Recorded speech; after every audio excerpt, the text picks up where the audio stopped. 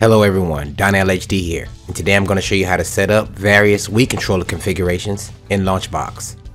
As per usual, I have my arcade folder here, and inside that folder, I have my emulators folder, my Launchbox folder, and my ROMs folder where we're going to be keeping our ROMs. I left a link for everything you're going to need to get set up right away. All you have to do is click here on download. I also left a link to the Visual Studio 2022 redistributable as it is required to run Dolphin unless you have Dolphin working already from a previous install. Okay, I've downloaded my Dolphin emulators file and I placed it here on my desktop. What I'm going to do now is extract the contents of it into the emulators folder. Now in my emulators folder, there should be three folders here, each corresponding to the different controller configurations we're going to be using. I set these emulators to be portable already, so we just have to pre-configure them. Also, these emulators will not affect the settings of your Dolphin emulator if you have one installed already. Okay, the first emulator we're going to set up is the classic controller emulator for such games as Call of Duty Modern Warfare 3, Super Smash Bros. Brawl, Sonic Unleashed, and WWE SmackDown vs. Raw 2010.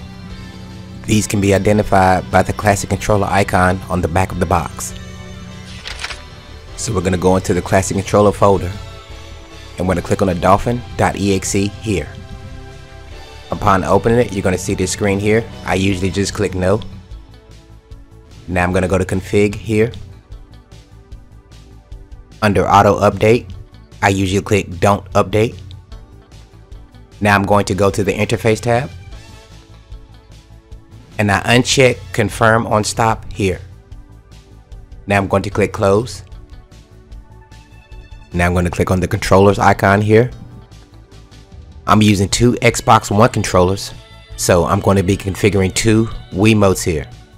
First thing we're going to do is we're going to set this port 1 GameCube controller to none.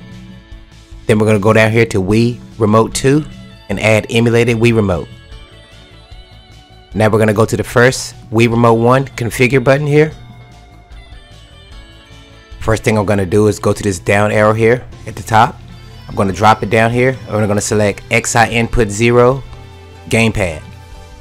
Now I'm going to go over here to the extension area and I'm going to drop this down arrow here and change it to classic controller. Now I'm going to go to the buttons area here and I'm going to fast forward for a second while I configure this controller. You can follow my movements.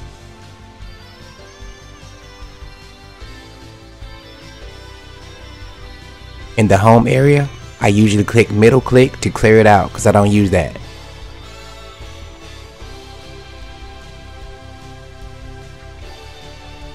Now I'm going to go to the extension tab here and I'm going to fast forward here for a second while I change this controller configuration. You can also follow my movements here.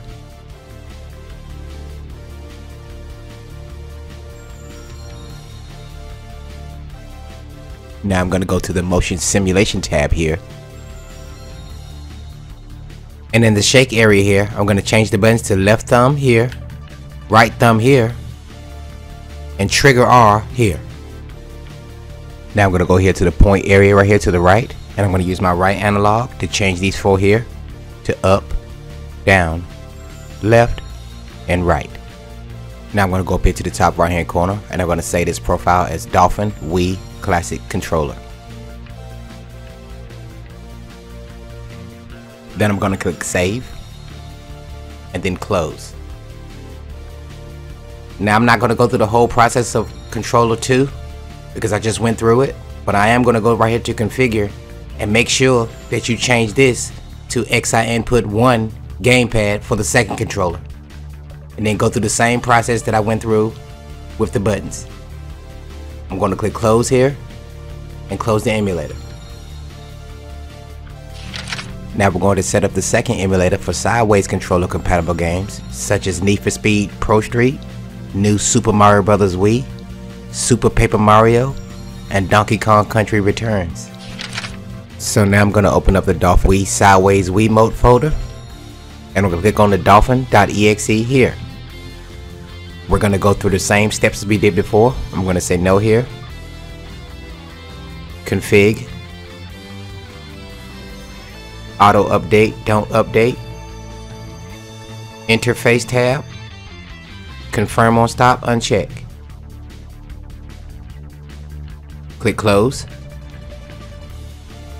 Now controllers. We're still using the Wii controllers, so I'm going to take port 1 GameCube controller and set it to none. Now I'm going to go here to Wii Remote 2 and change it to emulated Wii Remote. Now I'm going to click Wii Remote 1 Configure here. I'm going to go up here to the top left hand corner, drop this down arrow here and change it to XI Input 0 Gamepad. Now I'm going to go to the extension tab and we're not using one so I'm going to put it to none. Now I'm going to check this box right here that says sideways Wii remote. And now I'm going to go over to the button area and I'm going to fast forward a little bit while I change this configuration.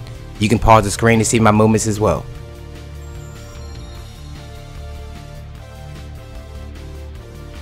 Now I'm going to go to the motion simulation tab here and in the shake area here, I'm going to change the buttons to left thumb here, right thumb here, and trigger R here. Now I'm going to go here to the point area right here to the right, and I'm going to use my right analog to change these four here to up, down, left, and right. And I'm going to say this profile is Dolphin Sideways Wiimote. And I'm going to click Save and Close. Close here and close the emulator.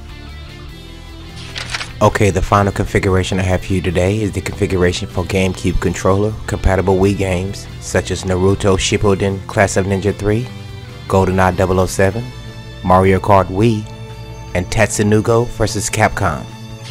Okay, so now we're going to go in the Dolphin Wii GameCube controller folder. I'm going to click on the Dolphin EXE here and follow the same steps as we did with the previous two emulators. Select no here, config, auto update, don't update, interface tab, uncheck confirm on stop, click close. Now we're going to go to controllers. And since we're using GameCube controllers for this emulator, we're going to select this Wii Remote 1 to none. And if you're using two players, drop this down arrow here and select standard controller. Now I'm going to go to port 1 configure here. First thing I'm going to do is go to device, drop this down arrow here, and I'm going to change it to XI input 0 gamepad here. I'm also going to check this box right here that says always connected because I always want the GameCube controller to be connected with this emulator. Now I'm going to fast forward for a bit while I configure play on what controller. You can pause the video if you need to see my movements more clearly.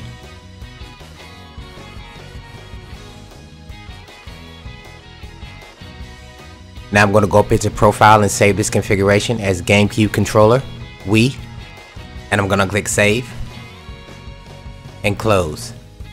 I'm not going to show the configuration for port 2 because I just demonstrated in port 1. And if you are using a standard controller, make sure you go to configure on port 2 and check connected if you want to always keep player 2 controller connected. Change this to XI input gamepad 1 here and configure the stick as usual. I'm going to go and click close and close here and now I'm going to close up the emulator. Now we're going to set these emulators up in Launchbox. Okay, now that we're here in Launchbox, as you can see, I have several games from the demonstration already imported. We're now going to add our three new emulators and direct these games to the appropriate emulator folder. Now I'm going to go up into the top left hand corner here. I'm going to go to Tools, Manage, Emulators. As you can see, I have a Dolphin emulator from my previous installation here for these games I've already imported.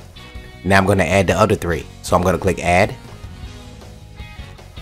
The first one we're going to do is the Wii Classic Controller so right here, we're to name it Dolphin Wii Classic Controller. Just don't name it Dolphin, okay? Now we're to set the path. Once again, it's on my desktop, arcade, emulators, Wii Classic Controller, and the Dolphin EXE here. Now we're to go to associated platforms. Make sure that the associated platform says Nintendo Wii here. And I'm not to set it as my default emulator. Now I'm to go here to the running script area and I left the script in the description below that if you require it, It allows the game to go into full screen after 7 seconds. And when you want to escape, you can press the escape key. I'm going to paste that here. And now I'm going to click OK. And now I'm going to click Add again for the next emulator. I'm going to name this emulator Dolphin Sideways Wiimote. Now I'm going to set the path. Once again, it's on my desktop, Arcade, Emulators, Wii Sideways Remote, here. And select the Dolphin EXE here. Now I'm going to go to associated platforms. Once again, I'm going to type Nintendo Wii here.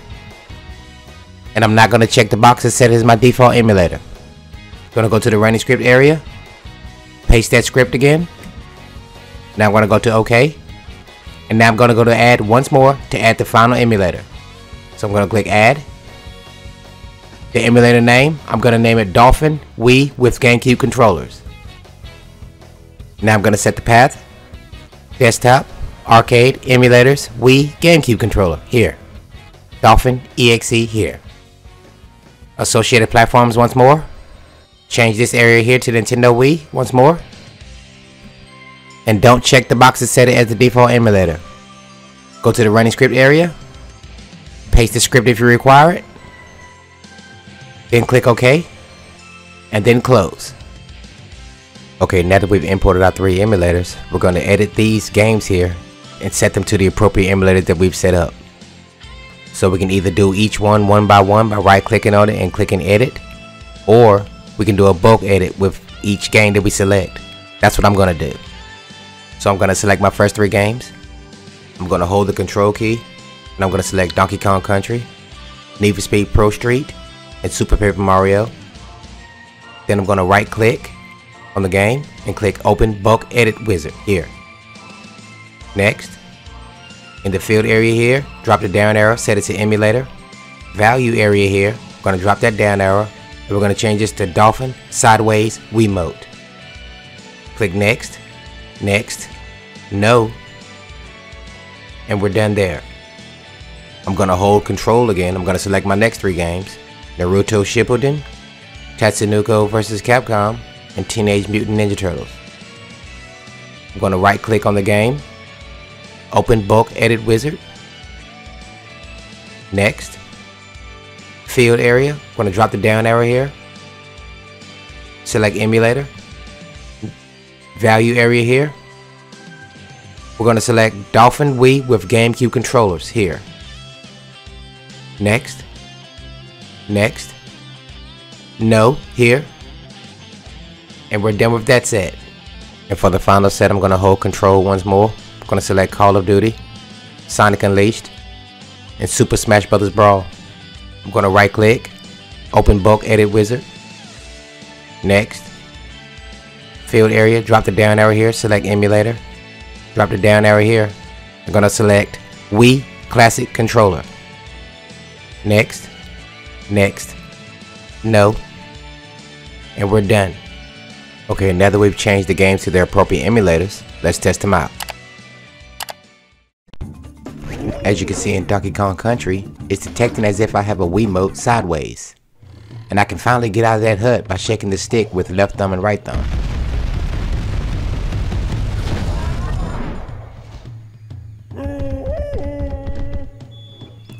In Teenage Mutant Ninja Turtles, it's detecting a GameCube controller here, and the game controls just fine. As for Sonic Unleashed, I found that using the classic controller is the best control scheme to use, but you have to set it in the game options. And the game controls just fine.